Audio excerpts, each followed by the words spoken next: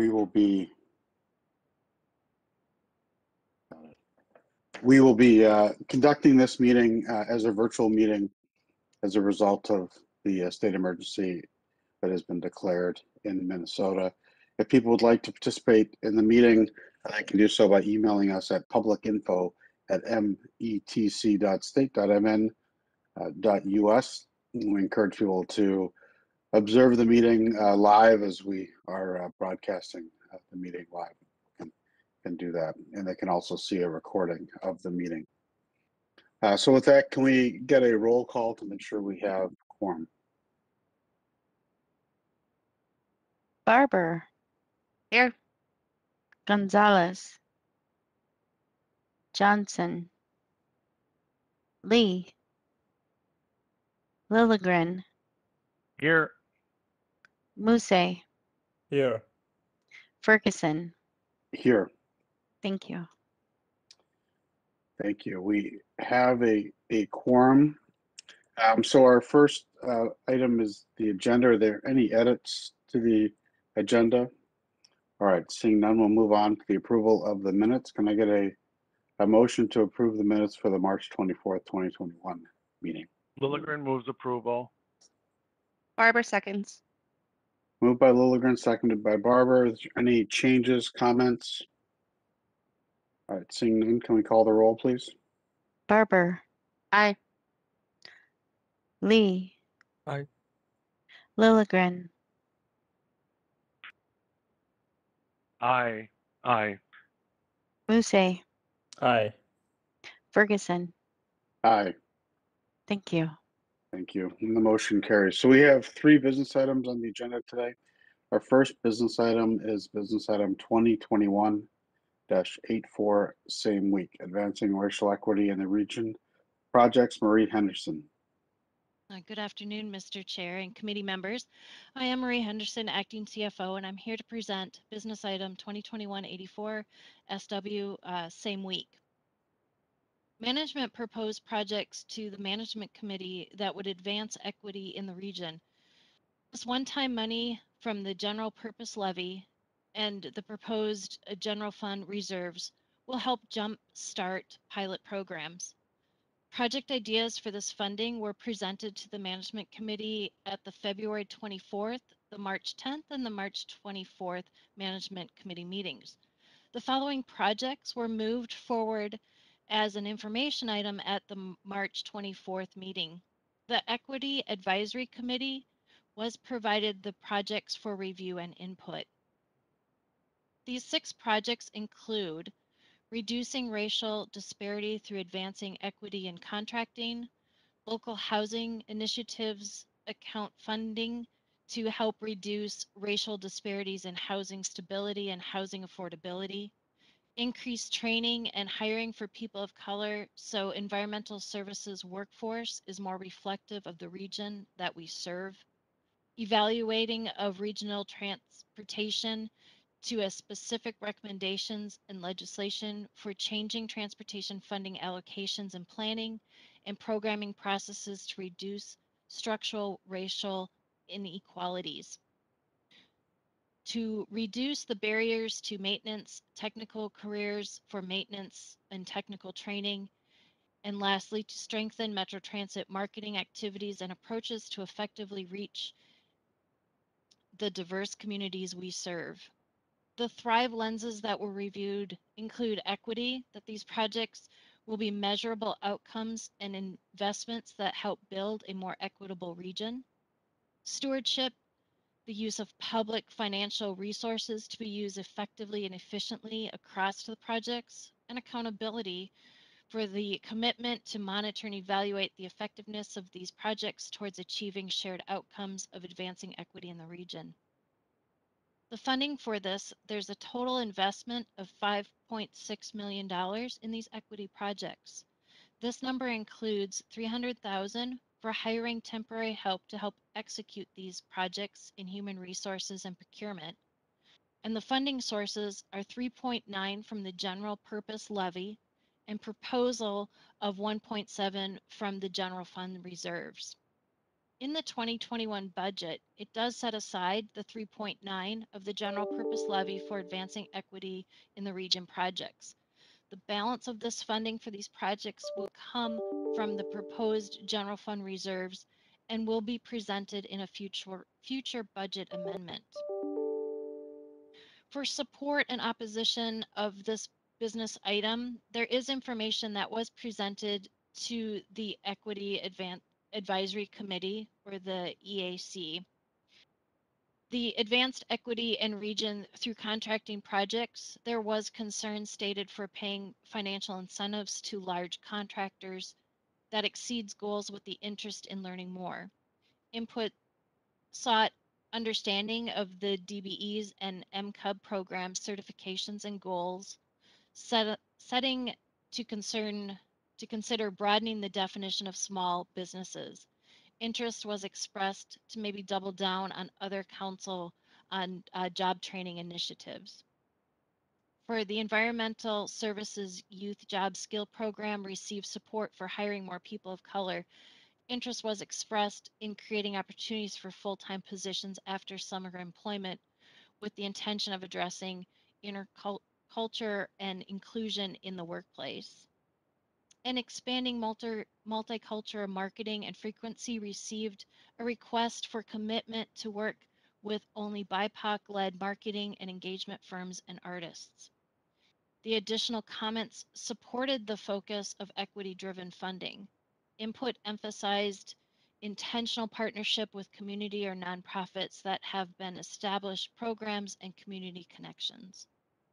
So, Mr. Chair, the proposed action is that the Metropolitan Council approve the Advancing Equity in the Region projects. Uh, one for advancing equity in the region through contracting of $600,000. Two for local housing incentive account program for $4 million. Three for environmental services youth job skill program of $100,000. Four for equity evaluation of regional transportation investment of 250,000 Five for maintenance technical training of 200,000, expanding multicultural marketing research and frequency of 150,000, and number seven for temporary help to execute these projects in human resources and procurement for 300,000. Thank you, Marie. Is there any discussion?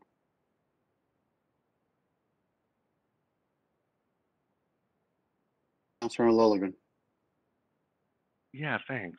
Uh, thanks, Mr. Chair, and uh, thanks, Marie, for the report on the work on this. And just a question about the conversation that was had at the Equity Advisory Committee, especially uh, where they raised concerns uh, uh, about incentivizing large contractors. And so I'm, I'm just trying to tell from the report if there was actually opposition to this or was it just something they were interested in learning more about? Yes, Mr. Chair and committee members, I'm going to call on Cy Jordan. She was present at that meeting and can maybe add more to that. Thank you.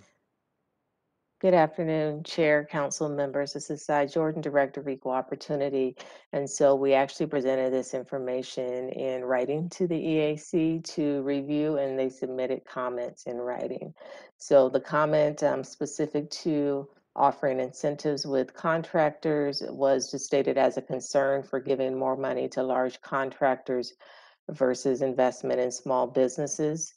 Um, and then it had a statement that followed, but there was admittance that they didn't know enough about the program and wanted to learn more. And in our proposal, with the three combined proposals, we do um, look at providing incentives, which we have the authority to do so. In the past, we've traditionally looked at how could we better enforce our contracting goals. In this instance, we're also looking at how can we incentivize contractors. In that same proposal, in uh, the number three area, we are making a concerted effort to have intentional focus on the small businesses as well. So we have a three-pronged approach in this uh, proposal. Great. Thanks, Cy. Thanks, Mr. Chair. Any other discussion on this business item?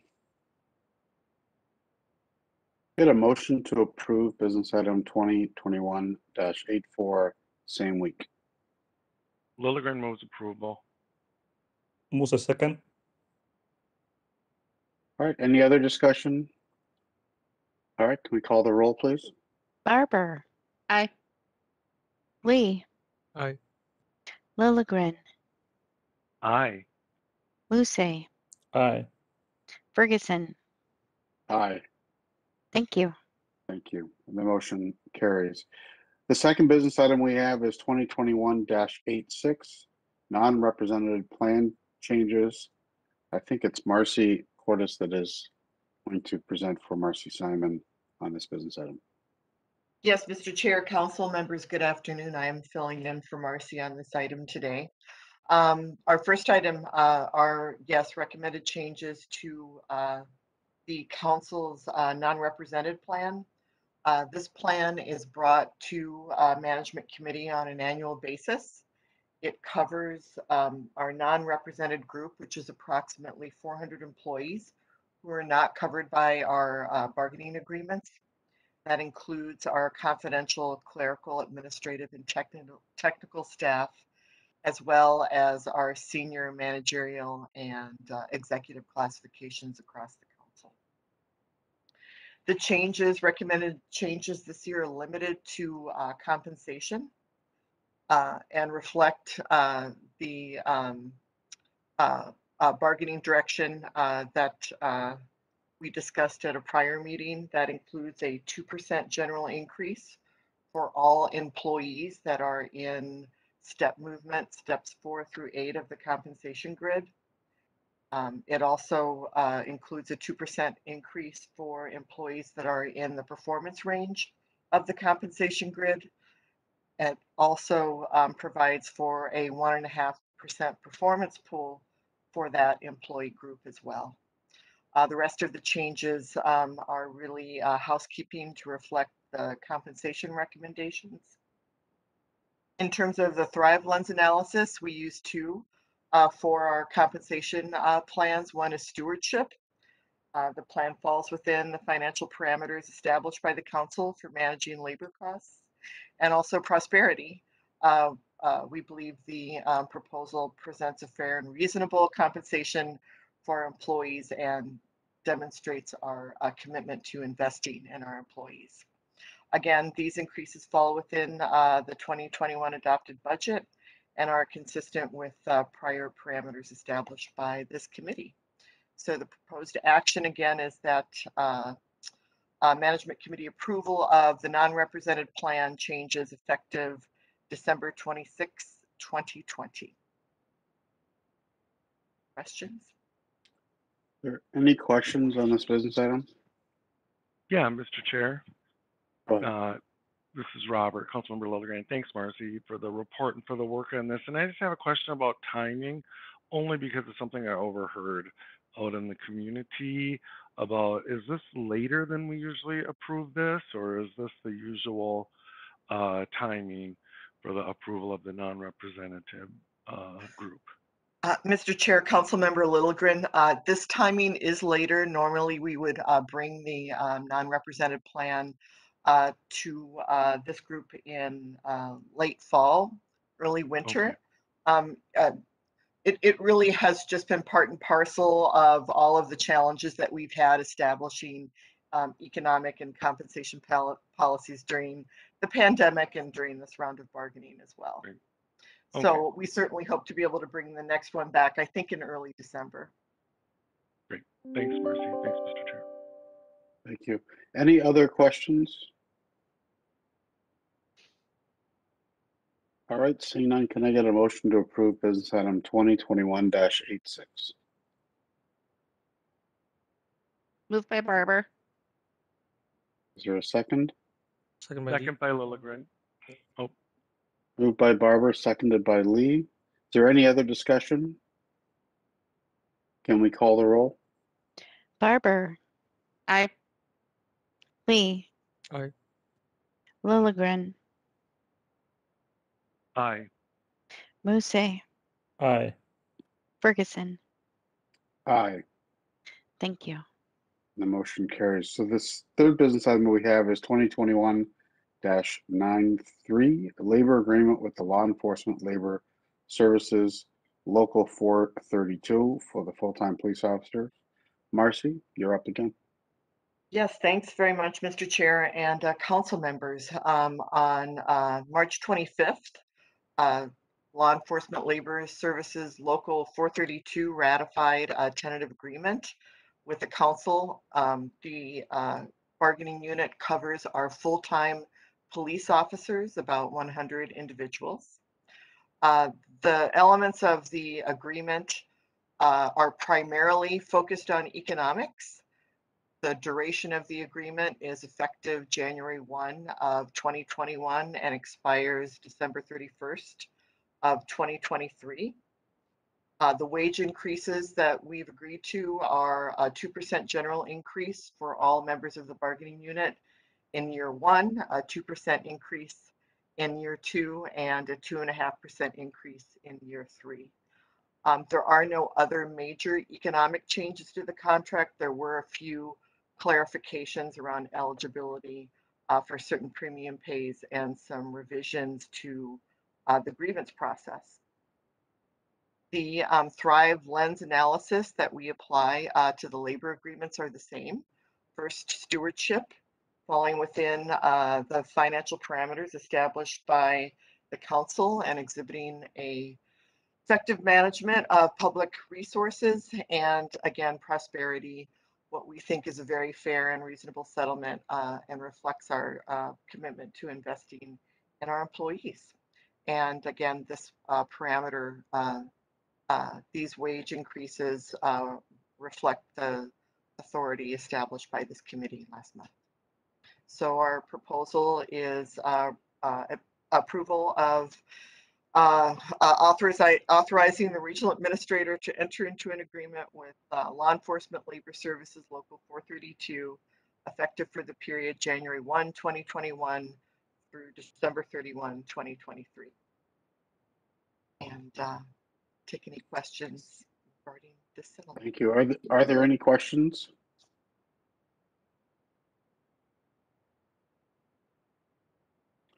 No, seeing none, is there a motion to approve business item twenty twenty-one 93 Moved by Barber. Is there a second?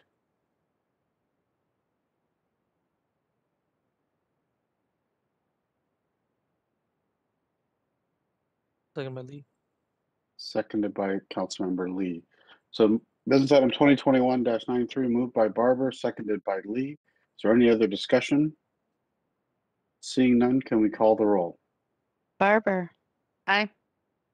Lee. Aye. Lilligren, Aye. Muse, Aye. Ferguson. Aye. Thank you. Thank you. The motion carries. Um, so we'll move on to our information items. We just, we have one, uh, good piece of news for everybody that I would have maybe Mark Thompson just share the, an update from our recent bond sale.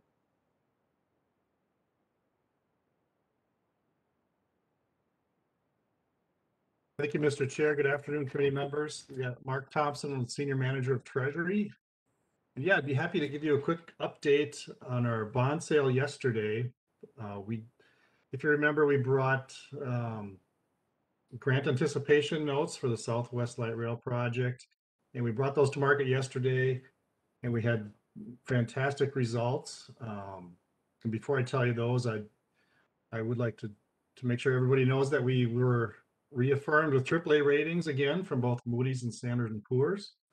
So that was great. And um, so we brought two different series of grant anticipation notes to market yesterday, and we had really good participation. We had seven bidders on both both of the bonds. Um, J.P. Morgan ended up buying both, and this, if you remember, it's a second in a series of four GANs. This was the big one. Um, we we're looking for 435 million dollars of proceeds this was the biggest piece so um, we had fabulous results we we the shorter series uh, which was had maturities from one to four years um, came at an interest rate of 0.259 percent so about a quarter of one percent Um, that was beat, beat our financial advisors' expectations. It's well within the financial parameters of our resolution.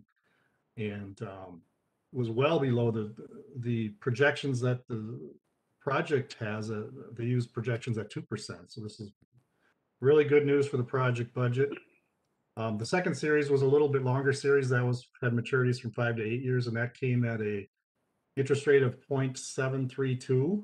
So again, about less, quite a bit less than one percent, 0.732. Um, that was again below our financial advisors' expectations. They were looking for a 0.8 or so. Um, and this one's also well below the projections of the project budget. So so it's a great, great result for the project. Um, our, you know, if you look at what the project was, was projecting for interest costs on the GANs that we've issued to date, this including the one we did in December and the two yesterday, um, our financing costs are about thirty-five million dollars less than we projected. So the interest rates are, are, um, fabulous. So that's, those will close in early May. We'll get the proceeds. And then also, as a reminder, we've got another bond sale next week. We're bringing some park bonds to market and uh, so we're refinancing some wastewater bonds. So that'll be, hope for more good results on um, next week also. Any questions? I'd be happy to answer. Mark, how do the uh, premiums work? Well, we did get, so the bids that came in yesterday did have uh, large premiums on them. They put, put large coupons on it, which resulted in a large, large premium. So we took the premium and we reduced the issuance size, um, which resulted in less par value and also helps, helps reduce, uh, the principal payments that we'll have to make in the future. So that's how we, how we use that premium amount. It was pretty large amount. It was about seventy million dollars of premium between the two, so That's large. we reduced our borrowing by that. Perfect. Any, any other questions for Mark? That's great news. The project could use the thirty-five million dollars for some of the other things that need to happen. So, Yep. Thank you. great. Thanks, Mark. So our first uh, information item that we have on the agenda is a COVID update. Phil Walljasper, who is our acting regional administrator and leads our incident command, I believe, as well as his other title. So, That is correct, Mr. Chair. Uh, Thank you, committee members. Good afternoon. As mentioned, Phil Walljasper, I'm the acting deputy regional administrator as well as the incident commander for the council's COVID response and happy to provide another update um, on how we're handling COVID. It's been a couple months since I've provided this and obviously a lot has changed since then, but um, what I'd like to do is just kind of start with an overview of what we have in place to manage this and what the structure has been. So Greg, if you go to the next slide, please. So you've seen this before. This is the council's incident command uh, structure, and it's modeled after FEMA's incident management, um, incident command management system. And it was put in place at the federal level back after September 11th as a way to really coordinate a response from an organization in the event of some incident or crisis that um, needed coordinated efforts and coordinated response. So this was put into place. This is something that the council has been working on for years, actually, as a part of our business continuity group, uh, our continuity of operations plan, our COOP. And I give a lot of credit to Kathy Matter and Lisa Bellin for putting this together. Um, and I like to, when I talk about this, I, I talk about the, the, the process and what the objective is. And I look at the incident command um, as a team, and the incident commander works with the executive policy group, stakeholders, and others to really come up with objectives. So the question is, what's the objective of the organization in response to that particular incident? And in this case, it was the pandemic. So as we put together that objective, that objective is communicated to the planning group, which is down in the in the lower right-hand corner of uh, this chart. And the planning group is given the task of putting together a plan to meet those objectives. What's a little unique with the council is that we have the different divisions. So while we have an overriding guidance from the council, we recognize that each division might be a little bit different based on the operations. So we have the planning group put together a plan. They take that plan and then give it to the operations group, whose job is to put that plan into motion. And along this entire process, all these uh, these different groups are supported by logistics, finance, communication, all of which um, are very critical to making sure that we have the right system in place, the right plan in place, I should say. And then it's communicated in a way that's effective that we can actually put this into motion throughout the organization. So a lot of great work has been done uh, by this group. A lot of people have been working uh, many, many hours behind the scenes to put this in, into, into place. And I will tell you that I think because of the work that's been done, we've been put in a position as an organization that far exceeds other organizations in terms of um, getting ready to put people into a teleworking position, for example, um, getting people the ability to have, have testing, and then more importantly, which is what we're dealing with now, is vaccinations. Um, so I'll talk about that in a moment. But Greg, if you can go to the next slide, please. So the incident command, I, would like to to look at the incident command in, in, in terms of phases and how we've responded. Um, so a little over a year ago, about a year ago, we put this into place, um, full, fully implemented. The first phase and the first response and the first criteria we had, the first objective was to how do we continue our critical operations, our critical services, and continue to support those services. So that involved, as we've talked about before, a lot of efforts from a technology standpoint, making sure that we have the right um, equipment to, for people that can telework to do so, making sure that we have the facility set up in a way for our on-site essential employees to continue the work that they need to continue, um, to have the right PPE, the, the personal protective equipment in place for those uh, employees, so a lot went into that, and the the turnaround time with that was, uh, as I've mentioned before, is just amazing, and, and the work that went into that. So then the next objective became, how do we, as an organization, control the spread of this this virus throughout our workforce? So we started to look at contact tracing and testing.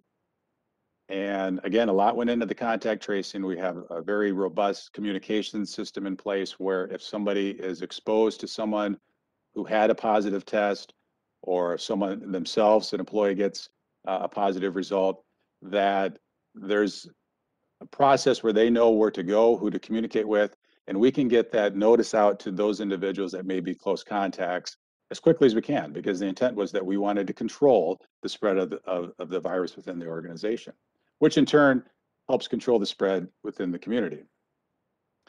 Um, as you can imagine, one of the biggest challenges with with those two uh, is that the the guidance from the CDC and MDH is what we look to. That changes all the time. As we learn more about this pandemic, we've had more changes. We've had more changes to the guidance, which in turn means we have to make more changes to our plans and our operations. So all of it comes back to this the structure that we had in place that allows us to pivot and I, I, I just have to pause there because I every time I have COVID meetings, one it's kind of a joke now. I always talk about the ability to pivot, right? We always have to pivot. We have to pivot quickly and we have to pivot effectively. And we're able to do that. And it really puts us in a good position with that fourth bullet point uh, in vaccinations. Um, and I'll talk about that in the next slide. Um, and then following that, longer term, returning to the office for the teleworking staff is one of the last phases that we have. Uh, so before I transition into vaccinations, let me pause there real quick to see if there are any questions about what we've done up to this point. Yes.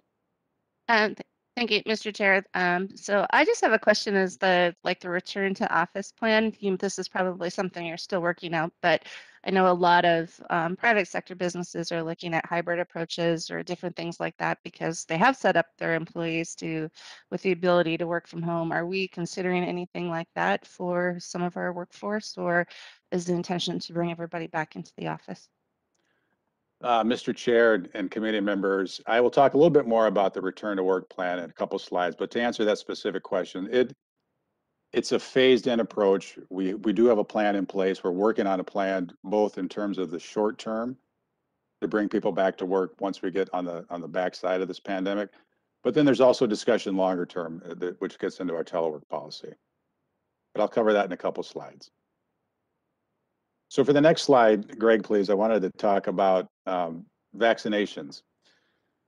So the objective with this was, was really two things. We wanted to make sure, number one, that our employees um, knew of all the other opportunities and, and the, and the, the resources that were out there at the state level that may put them in a position to get a vaccination outside of, of the council, outside of work. So we, we're not mandating the, the vaccination, but we're strongly encouraging it. And we continue with the communication to the employees on a regular basis of, there's a lot of resources out there. Uh, we encourage you to go out and look for those, sign up, take advantage of what uh, the really good work that's been done at the state level on the MDH website to get you into that queue to get vaccinated. The second piece of this is that we knew at some point we would have to be be able to offer vaccines through through work. And there were a lot a lot of uh, a lot of work went into figuring out how to best roll that out. And as everyone saw in the state and everyone knows the the the prioritization of the, the people that could get the vaccinations was clearly or it was outlined on the state's website and we were trying to model our prioritization after that um, but we thought in terms of getting vaccines through our own lo- our work let's not reinvent the wheel let's first look to see some of these locations that already have a state set site and see if we can partner with them to administer the vaccines that we would get through work at some point at these other um, other sites that were already set up because a lot of a lot of planning had to go into making sure we had sites with the right equipment and everything set up so that that traffic of, uh, for vaccinations would flow uh, properly. So through that effort, we reached out to a couple different counties and a couple, and we continue to work with the state. And what we quickly realized is that um, while the state did outline the prioritization for the vaccine rollout, we realized that a lot of these entities were farther along in rolling out those vaccines within their own group than other entities. So some counties were farther along than others. And through those, those, uh, the, the reaching out and the partnership and the, and the communication that we had, we first looked to try to partner with them to use their sites.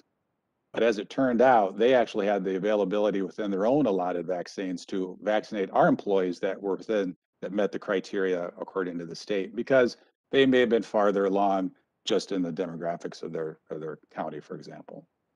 So what we were able to do is we started to get these allotments of vaccines, if you will. We used to get you know 200 here, 600 there, and we would roll them out to our employees um, based on the prioritization that we had built in, which again was based on what we were seeing from the, the at the state level. So a lot of these employees were able to get vaccinated through those opportunities that weren't directly through the council.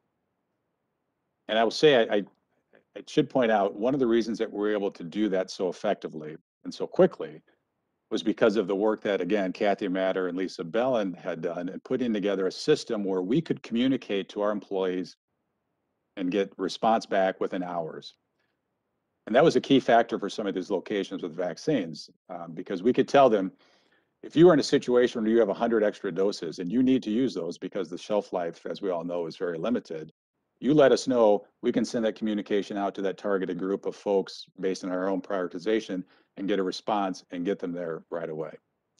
Um, so that system was in place. That was very appealing to people because no one wants to have vaccines go to waste. So we were able to present that to these groups, and then we find ourselves getting opportunities you know, every so often we get these opportunities in uh, 200, 400, 600 allotments. So we were continuing to push that. We were continuing to push the um, opportunities for people to go through the, the regular channels that we talked about through the state, through the vaccine connector. And we're also continuing to work on our on-site clinics because at the end of this whole process, we realized what made the most sense was for us to control the vaccinations at our own facilities. So we had two sites that we were going to use. And I say we were going to use because that's changed a little bit based on what's happened this week. And it's, um, I consider it good news. I, I don't know if the numbers support right now, they don't look like they support the need for an on-site clinic because uh, we had an opportunity of 400, approximately 400 vaccines through the state, one of the state sites earlier in the week. We, we had a small vaccine planning group that comes together on a regular basis. We talked on Monday morning about how to best roll that out. And we used that communication system that I referenced. And we're to a point now where we have sent that out to, we know those employees that have been vaccinated have been taken out of that group. The remaining employee list, we've sent this employees of the council. And we said, are you interested in receiving a link for a vaccination? Yes or no, respond. And I can say that that went out to all of employees. We used all the allotted slots, the approximately 400 that we had at the beginning of the week. We have just, we're, we're down in the single digits of people that have responded since then that said they would like to get a vaccine, uh, but have yet to do so. So we'll continue to try to work with the state to get certain uh, allotments through the state-run sites. Um, but in terms of numbers as it sits right now, it doesn't make a lot of sense to go forward with an on-site clinic because of the fact that most people that have wanted to receive a vaccine, the, the council employees have either already received it, which is great, or they're going to be receiving it through our opportunity that came up this week. So the current status, again, uh, we had to pivot a little bit uh, uh, this this week, and, but we did a really good job with that. The communication, the system was built in into the into our structure, the the system to communicate quickly, and we put that into place, and we got a response. And um, there were a handful of people that had not responded, so we don't know. So we'll continue to focus on those and maybe give another effort to to see if they have uh, a desire to get a vaccination, um, while we continue to try to secure slots from uh, the state as well. Um, so with that good news, uh, we'll go to the next slide that talks a little bit more looking ahead and longer term. Um, to the previous question about returning teleworkers to the office, what we are looking at is looking at a phased-in approach and that we want to follow what guidelines are coming from the state, um, what we're seeing in terms of social distancing and, and mask wearing and whatever that needs to be in place. We want to have some guidance that we have council-wide for a transition for employees to come back into the office that are currently teleworking. Um, and we're going to start to to those situations where it makes sense. And what I mean by that, when I, if it makes sense for the employer, they want to come back to the office. Um, it works for the employer and the manager and that work group. And a lot goes into that depending on the, the, the spacing and the logistics and, and the work environment. Um, but where it makes sense to do that, we will look to turn that dial slowly this summer. Um, and then right now, we are following the state's guidelines where we are looking to have, uh, uh, continue to push that dial until September of this year, where we will look at a new approach um, based on what we see with the pandemic and the numbers. Um, again, it changes just about daily. So where we go today could be different um, in a month's time. And that was certainly the case with the, the on-site clinics with vaccinations. We put a lot of hours into trying to come up with this, and as it turns out, we don't need it, but that's that's a good thing. Um, the next two bullet points, the contact tracing and the testing, you know, we're not out of the woods yet with this. We still need to have a process in place that we can look to to get that word out if we have someone that is positive or is exposed that, that may need to quarantine. And we need, still need to have a testing uh, system in place. Um, we, we, again, the objective is to manage the spread of the, of the COVID uh, throughout the organization. So whatever we can have in place to quickly identify where those hotspots may be or where we may have a positive and to quarantine quickly, that's what we need to continue to focus on. We continue to have the, the lessons learned. There's a, a log that we're keeping of the lessons learned going forward with this, and we want to incorporate those into the con- continued training exercises that we'll see at the, on the other side of the pandemic. Um, you know, a lot of great work has been done on this. I, I sit here and I'm just amazed at, I'm amazed at everything that has been done behind the scenes that not everyone gets a chance to see. And when I talk about the lessons learned, one of the things that I've talked with Kathy and Lisa about is with the NIMS structure, they have the planning group. Um, but what we have found with this pandemic plan is that there are so many plans and objectives that need to be met that take a lot of time. When you talk about vaccinations, you talk about uh, returning teleworkers to the office, it takes a tremendous amount of time. And it also takes a tremendous amount of effort to make sure that we are incorporating the needs and the business objectives of each division because we want to do this in a thoughtful way so that it makes sense from an operational standpoint.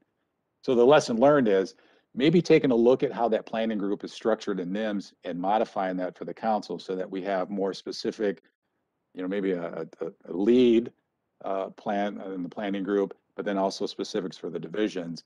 Um, and then a way to share some of these responsibilities because I give a lot of credit to Matt Latour as kind of leading that group, and he's done a tremendous amount of work on this and just a great job uh, of pulling this together to putting us in the position where we are today, which is really, I, I I'm amazed at where we're at compared to other organizations and just anecdotally talking with colleagues. Um, we're in a really, really good spot, in my opinion. But we'll continue to focus as we move forward on, on some of the things I've talked about um, because we don't know where this is going to go. So with that, Mr. Chair and committee members, I'd be happy to answer any questions you may have. Um, Are there any uh, questions from the committee members?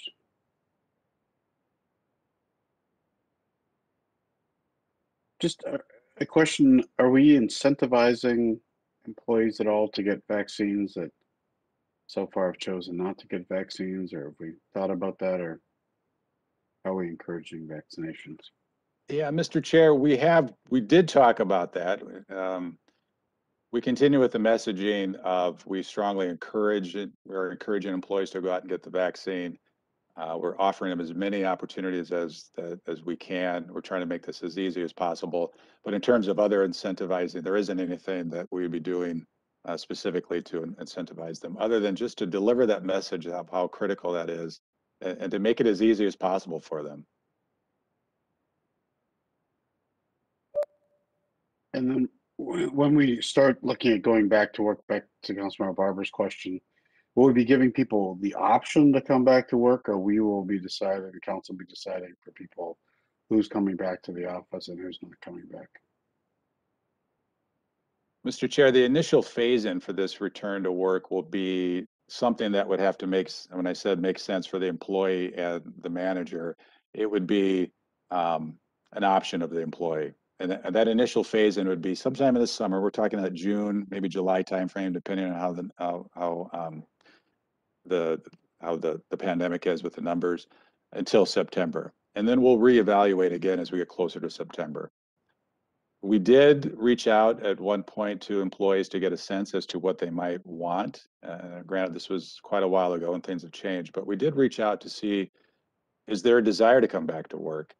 And there, we had a variety of responses to that. So as the vaccines continue to, to um, as more and more people continue to get vaccinated, as hopefully the numbers will start to go down, um, we'll start to phase that in. But initially, it'll be an option where it makes sense for both the employee, but it also has to make sense for that manager and that work group.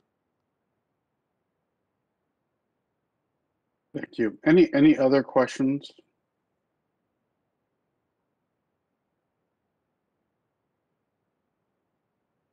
All right, seeing none, thank you, Phil, and your team for all the great work you've done, and if there's anything else you need from us, please let us know. Thank you very much, Mr. Chair. Does somebody have a motion?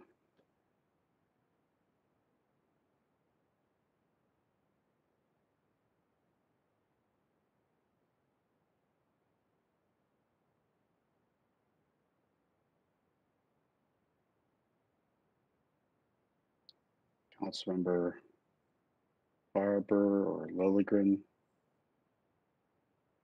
Mr. Chair, I'd be happy to make the motion. I don't have it. Okay, I'm having a hard time opening.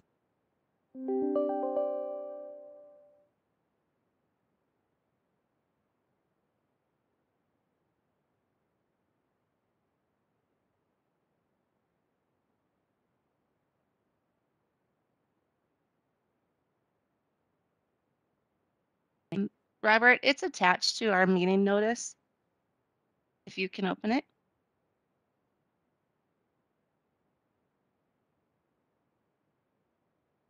Councilmember Lilligren, I just resent it to you.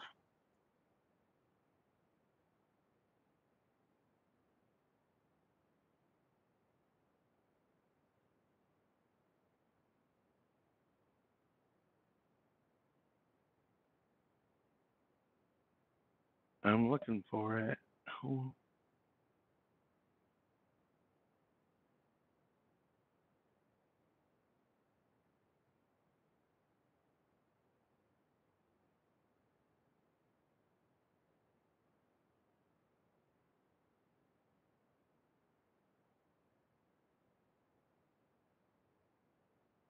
Perhaps I can share it and we Yeah, can Laura, read that Laura, can way. you share, can you share it on yeah, the screen? maybe I'm. Yeah, I'm. I'm not seeing it in my inbox Sure. Okay. or on the meeting list.